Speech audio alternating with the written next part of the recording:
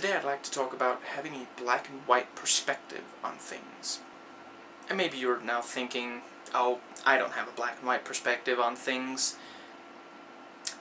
Please try to watch the rest of this video still. You may find that you might have it in some areas. Or maybe you're in the other camp and saying, we have to have black and white perspectives. Let me be clear. Not having a black and white perspective doesn't mean accepting everything or making excuses for everything. So let's start with the idea that something is just evil. I want to make it clear I'm not referring to people's actions here. Actions can be evil. If you ask me, it's the only thing that can be evil. Harmful actions should not be excused, but wherever possible we should understand them. What I take issue with as far as the idea of there being evil goes is that it is far too often applied to people, either individually or groups, ideas, and so on and so forth. The problem with thinking that someone is just inherently evil is that they become fair game in everybody's eyes. It becomes okay to hate them. And once you've convinced yourself that someone is just evil, what they do, even if it's the same as what the people you consider to be good are doing, will be considered by you to be evil. Let's talk about the Jews, for example. Before World War II, it was fairly common to hate the Jews. For a long time, they weren't allowed to take on a trade. And this wasn't as a result of people noticing that they didn't do a good enough job, or that they were lazy. No, it was merely because of their appearance and their religion. So the Jews began trades of their own, including banking. And ever since, to this day, there is this pervasive stereotype that the Jews are greedy, that they take our money, that they cheat us out of our money. Now part of this prejudicial idea is that originally laymen didn't know math well enough to be able to tell if they had been cheated or not, if the money that they walked away with was the correct amount. However, without the distrust, it wouldn't have become such a widespread idea. After all, Christians undertook countless different trades. And yet not everyone immediately suspected the man building a horse carriage of doing a poor job assembling the wheels, the tailor of taking too long a time so that he would be paid more. No, this came about because people simply believed that they were evil to this day, many people hate gypsies. They won't hire them because maybe they'll steal and they look kind of funny. What what is that they're wearing? Maybe they smell. Now, on account of not being able to work,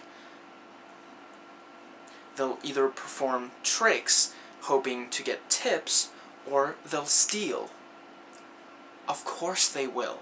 If no one will hire them those are their options to perform or to steal. They're human beings.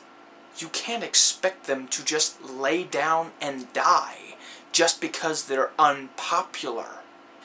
Every single living organism on this planet has a drive to survive, as well as one to multiply in case you were thinking of suggesting that maybe they should just not procreate. The idea of someone just being evil is also the only way you can explain that there are actually Muslims, and I'm not saying this goes for all Muslims, but there are actually Muslims who suggest that the Jews brought the Holocaust upon themselves. How do you bring the death, the brutal, structured slaughter of six million people onto yourself? And let's not forget, some of these were children. They were civilians. They were not soldiers. And this kind of thinking is far more common than we like to admit. Think hard. Is there maybe some group of people that you sell short and where you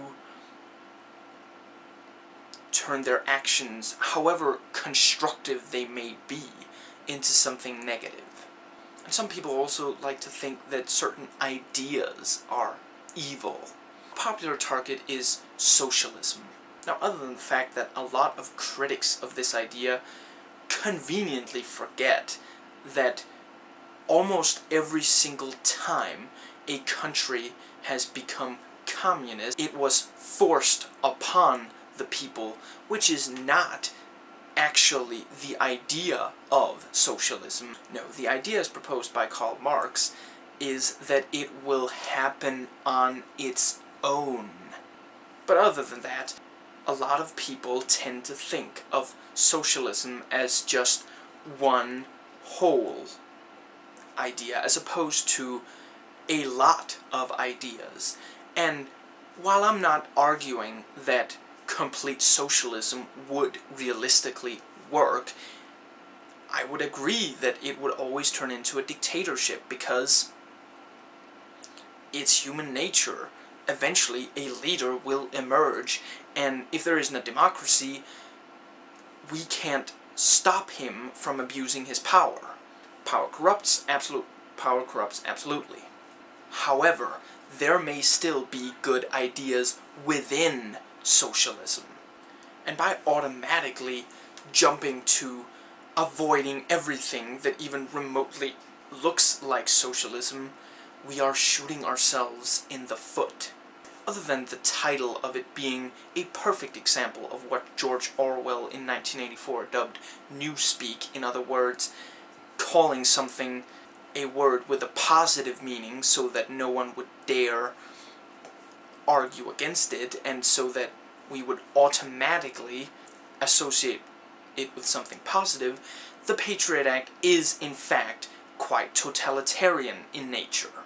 Part of communism and Nazism both partially socialist, keeping in mind once again that they were forced through as opposed to allowed to eventually evolve into pure socialism, which was Marx's idea, had constant surveillance to the extent that they could. And I'm not saying that the Patriot Act hasn't helped capture potential terrorists. What I am saying is, you can't claim that it is entirely non-socialist. And if you think the Patriot Act is a good thing, then right there is an example of something good that was lifted from socialism.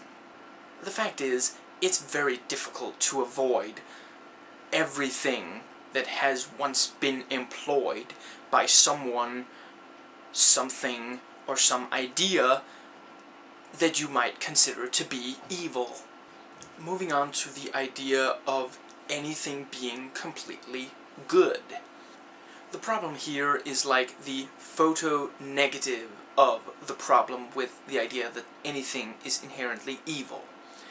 When you believe that something is 100% good, you will make excuses for it when it makes mistakes you will resign yourself to, well, at least it's not the other thing, which is evil. How else can you possibly explain the Catholic Church not having lost all of its followers the moment it became clear that for years the sexual abuse of children has been going on, it's been known about, and it's been kept hidden.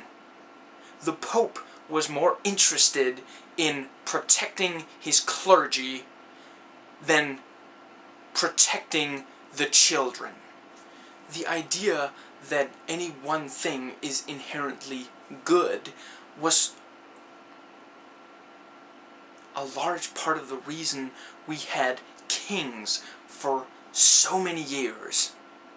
You see, they used to believe that the king was appointed by God, because God gives us children, so when a king has a son, not a daughter, because women can't possibly rule,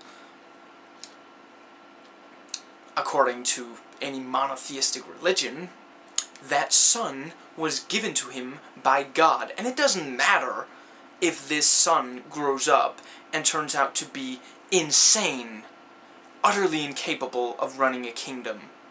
No, he's still going to remain in power. Because it's good. When you think a person or a rule is good, everything they do will be justified by you. No matter how wrong other people might say it is, or you deep down might feel it is, you will still make excuses because you have convinced yourself that it is good, that it is perfect, and that the alternative is evil, not just a little, but completely. When it comes right down to it, almost everything has both positive and negative aspects to it.